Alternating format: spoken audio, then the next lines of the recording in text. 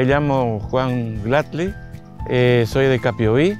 El auto que le voy a presentar es un escarabajo, es modelo 80.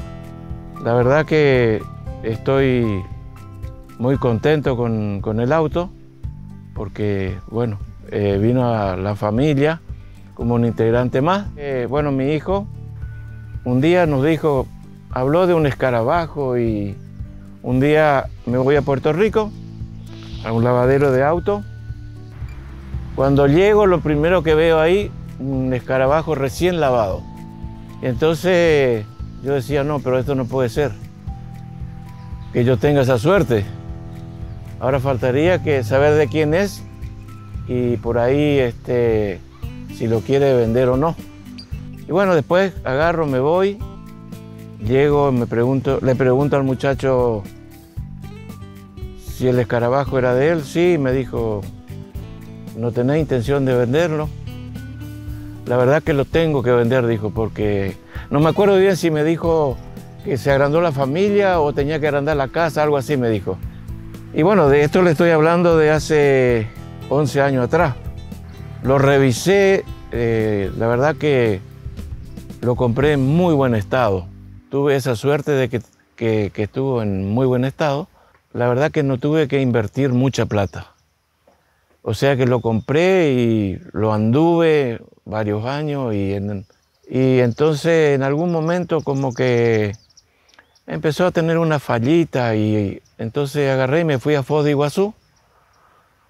Yo tengo un conocido allá que vende repuestos Volkswagen y le pregunté si habría un mecánico que lo podría ver por la fallita que tenía. Entonces, bueno, fui, me lo revisaron entonces me dijeron que lo, que, lo ideal sería este, cambiarle el conjunto, hacerle el motorcito, porque puede tirar un tiempo, pero algún desgaste tiene.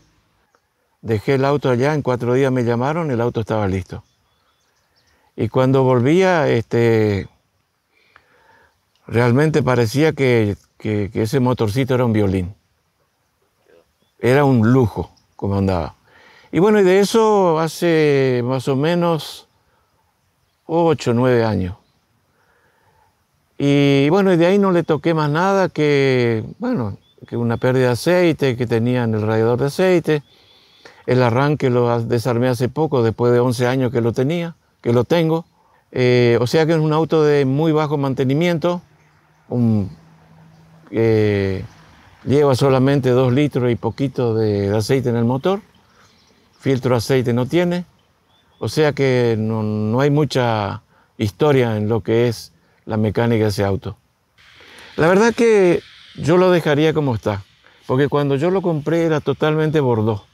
Lo blanco este, le hice poner yo, lo hice pintar. Me lo pintaron en Brasil también. Yo creo que no cambiaría nada porque ahora como que para mí está bien, porque lo importante es que, que cuando vos conocés tu auto y cuando vos sabés lo que le hiciste, es como que te da una confianza para salir, porque yo te digo sinceramente, a mí ni se me cruza por la mente de que ese auto se me va a romper. Eh, Hacer cuenta que ese auto va y viene, y es así también. ¿Viste? Mira que nosotros fuimos con el grupo de Puerto Rico a, a Corriente, a Santa Elena, Brasil, me fui varias veces, ando por todos lados. Y entonces, pero como te digo, tengo esa confianza en ese auto porque digo, no, ese va, me lleva y me trae.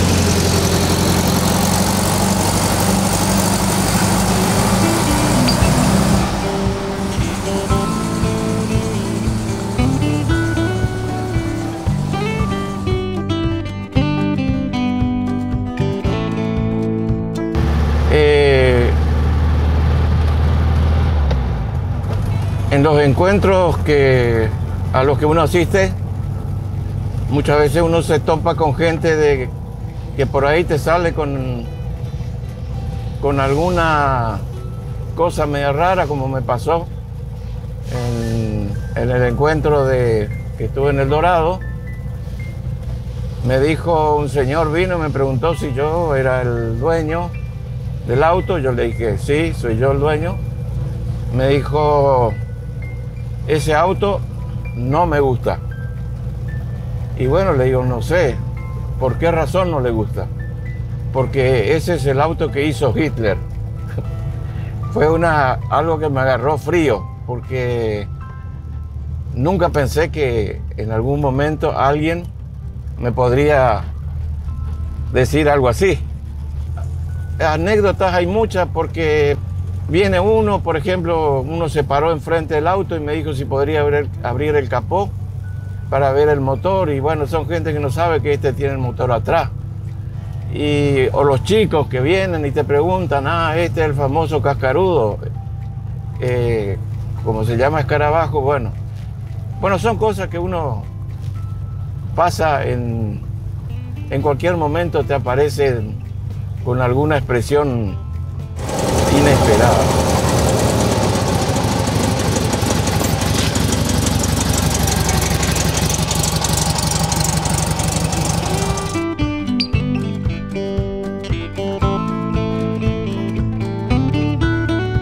Bueno, este, lo que más, más me gusta del auto es, por ejemplo, manejar, manejarlo. Me encanta manejar ese auto.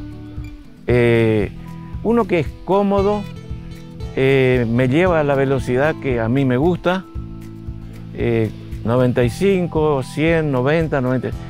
Y es una velocidad donde vos andás tranquilo, es fácil de estacionar, eh, es un auto que, tiene el motorcito atrás, por lo tanto es silencioso cuando viajas es re cómodo.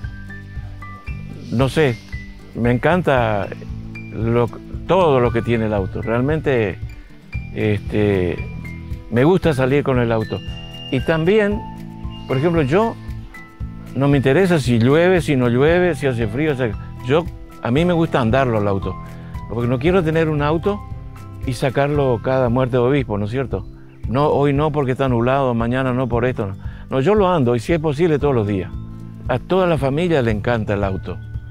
Hasta, por ejemplo, mi, un nieto que tiene 17 años, que está haciendo sus primeras armas, aprendiendo a manejar con este. No sé si se dieron cuenta, bueno, cuando hicimos los 500 kilómetros, la Vuelta a Misiones, bueno, mi señora me acompañó, cosa que pocas veces lo hace, pero quedó encantada también le encantó el viaje y también el compañerismo que hay entre todos y la forma de, pasarla juntos y todas esas cosas. Y, eso tiene mucho que ver con, con, los autos antiguos y clásicos. El, grupo de gente que se hace. Valor, lo que yo, mi valor del, es sentimental, porque no, no hay precio que te pueda pagar lo que vos sentís por un auto. Y tampoco ni mm, se me cruza por la mente un día ver mi auto, este auto, manejándolo, que otra persona, otra gente, que yo lo haya vendido, no. Eso yo no podría ver. Agradecimiento tengo, eh, por ejemplo, a Luciano, a Lucho, que a veces están con el patio que no saben qué auto meter y bueno, y viene el, que, el escarabajo y siempre como que hay un lugarcito. Otro agradecimiento, bueno, la familia que, eh, como te decía al principio, viste, que uno se organiza, en grupo lo organizamos, viste, porque a veces hay que invertir en la casa y a veces hay que invertir en el auto. Entonces mm, nos ponemos de acuerdo y siempre eh, sale bien para ambas partes. Bueno, ustedes, por supuesto, ustedes por el programa que están haciendo, ¿no es cierto? Porque realmente este, les sale todo muy bien, es un programa que mucha gente le interesa y que, que hace, que hace bien, ¿no es cierto? Eh, olvidarse un poco, mirando esto, olvidarse un poco de todo lo que está pasando alrededor, que a veces es bastante pesado aguantarlo, con, más con esta pandemia y todo lo que tenemos ahora.